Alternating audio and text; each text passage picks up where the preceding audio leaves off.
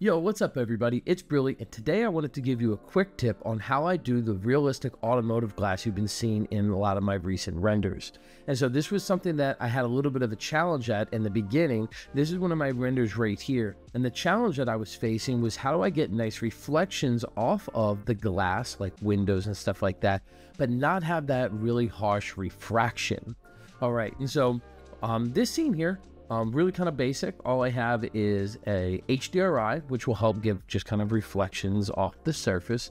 Uh, and then I have just a background object here. I threw a cylinder in so we can see the kind of refraction that's happening through the glass. And right now, none of this is being used. And I just copied and pasted the windshield that I had modeled. So here is the car you can see from that frame that I was just showing you. And this is the windshield from it. So if we get this render going here and we make a material, it's also important to remember to be in path tracing, especially when going for realistic materials, even more so specular materials. And I'll create a material and I'll create a specular material. And let's just simply place that specular material on the windshield. With that specular material on the windshield, you can see that we're clearly getting a lot of distortion. And it's not really something that we can just come in here and say, hey, let's just remove and take that index down. Um, that's good, but now the reflections really look weird. Um, we're just kind of seeing through the object. We're not seeing any of those kind of reflections right now, right? And so if I were to bring this to like 1.5, something that automotive glass would have, but we come down into the common tab of this specular material, this awesome little feature called thin wall.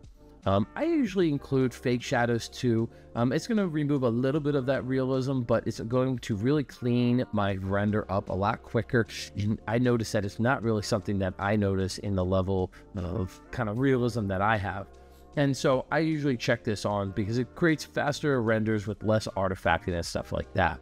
But anyways, this thin wall is the key to check on. And now you can see that I can get really nice reflections from the surface, but I am not distorting the objects behind it.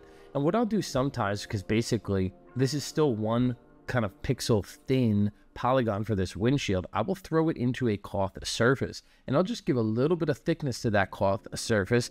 And basically I'm doubling up on that effect. So you can kind of see it becomes a little bit more kind of opaque and less like see-through. So we have a front side of the glass and a back side of the glass um, and the reflections might get a little bit stronger as well. So just kind of play around with those results. That is how I do my automotive glass.